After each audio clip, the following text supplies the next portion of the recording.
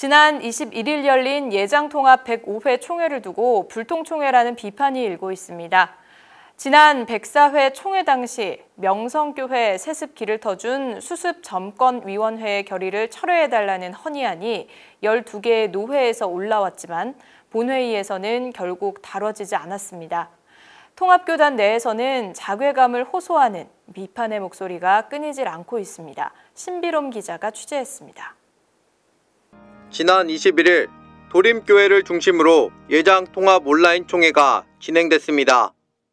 사상 처음 진행된 온라인 총회는 제대로 준비가 안 된 모습입니다. 총대들은 의사가 제대로 전달되지 않는다며 총회장의 진행 방식에 불만을 제기합니다. 그런데 우리가 다 빨간 거 들고 있는데 아무도 없는 것 같습니다.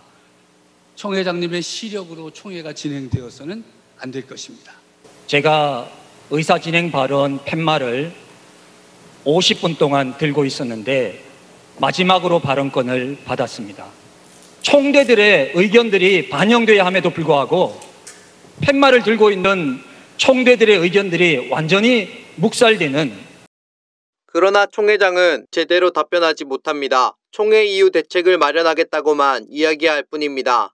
님, 노 회장님도 화가 나시죠? 그러죠. 저도 총회장 처음 하면서 처음이자 마지막인데 징그럽게 화나요. 이렇게 온라인으로 총회 한다는 게 참 화나거든요. 그뿐만 아닙니다. 12개 노회에서 헌의한 명성교회 수습안 철회는 제대로 다뤄지지 않은 채 정치부로 넘어갔습니다. 에, 총회 헌의원회는 총회 규칙 제16조 7항에서 명시하는 대로 총회 헌의안을 해당 부서로 분류 이첩하는 역할이 그 직무입니다. 그러므로 제기된 헌의안은 정치부를 비롯한 해 부서에서 심의한 후에 본회의에 보고하면 됩니다. 이상입니다. 이에 명성교회 세습을 지지하던 최경구 목사는 명성교회 세습 문제가 다 해결됐다는 식의 발언을 했습니다. 그러니까 정치부에서 헌의를 헌의를 어떻게 하냐면 이거는 어 정치부가 다룰 사안이 아니다. 왜? 작년에 총회에서 결의했잖아. 이렇게 해서 반려 아니 임원에 그냥 돌려주든지 아니면 반려하면 가운데로 하면 끝나는 거야.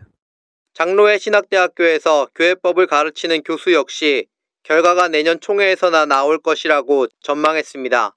부서에서 다룬 것을 어떻게 처리할 건지 명시적으로 그 임원회에다가 내가 생각할 때는 그 위임한 적이 없어서 어, 총회 임원회에서 마음대로 뭐 이래야 된다 저래야 된다 어, 못할 걸로 알고 있는데 그냥 어쩌면 다음 총회까지 그냥 갈 수도 있고 이번 총회를 지켜본 명성교회 교인들은 성명을 발표해 사회 법정에 소를 제기해서라도 김하나 목사의 부임을 막겠다고 밝혔습니다.